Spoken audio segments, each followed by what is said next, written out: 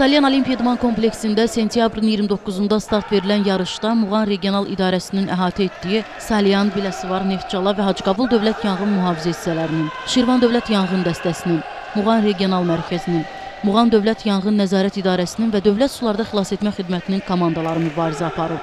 Üç günlük gərgin keçən mübarizənin sonunda 3-cü yer uğrunda Şirvan biləsi var. Birinci və ikinci yer uğrunda isə Muğan Regional Mərkəzinin və Muğan Dövlət Yanğın Nəzarət İdarəsinin komandaları qarşılaşıblar. İlk olaraq bürünc medalların sahibləri müəyyən olunub.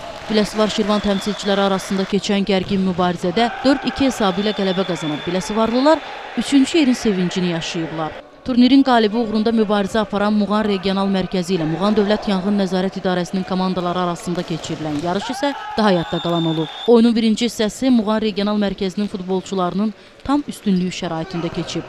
0-4.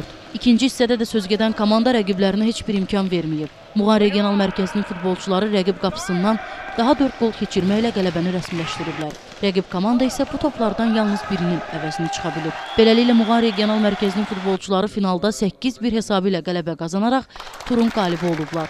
Sonda ilk 3 yeri tutan komandalar kubok və diplomlarla mükafatlandırılıb. Aytən Sakit qızı Vüqar Məlikov, Salyan.